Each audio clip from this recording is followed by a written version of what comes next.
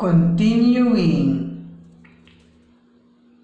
I am close to both my aunt and cousin from Tayuman who were with us.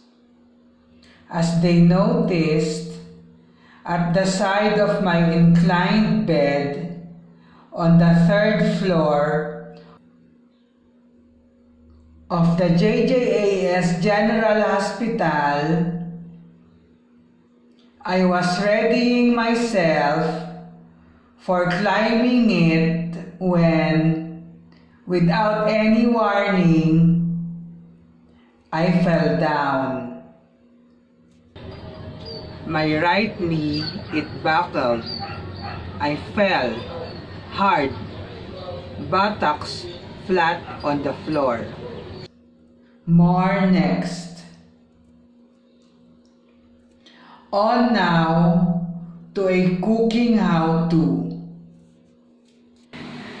One featuring an American Chinese poultry dish, the orange chicken a la Panda Express. As in manok na may kahel. But with my own Ingredients twists. In the evening of January 4, 2022,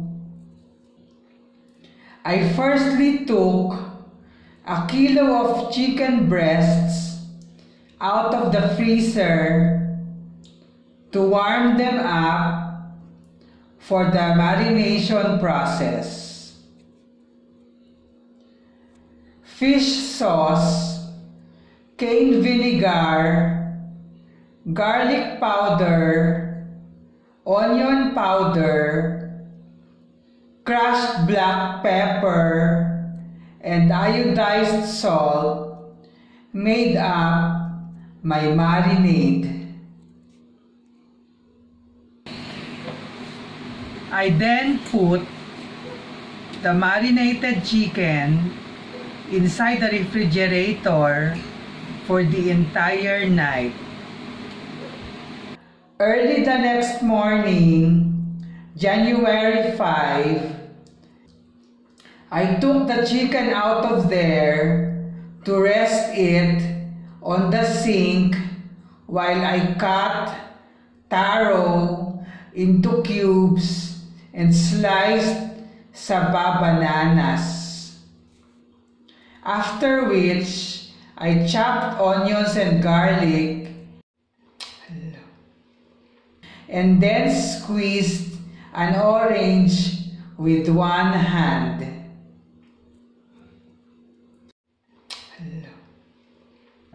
And prepared a slurry of flour, cornstarch, and cold water within a big bowl for the frying.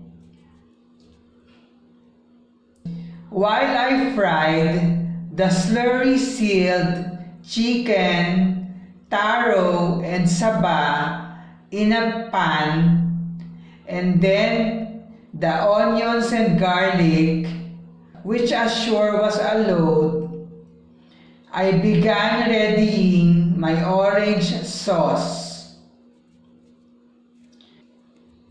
In a medium bowl, I mixed my natural orange juice with honey, crushed black pepper, iodized salt, artificial orange juice to enhance the orange flavor, and the leftover marinade plus slurry.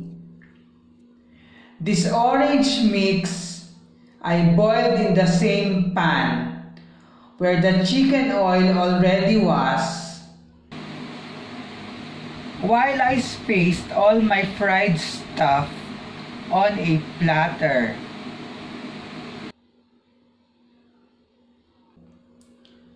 My orange mixture and then the kiat kiat went on top and all around the chicken platter.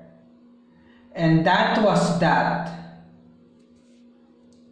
About not wearing a leg brace and one-handed bra wearing next time.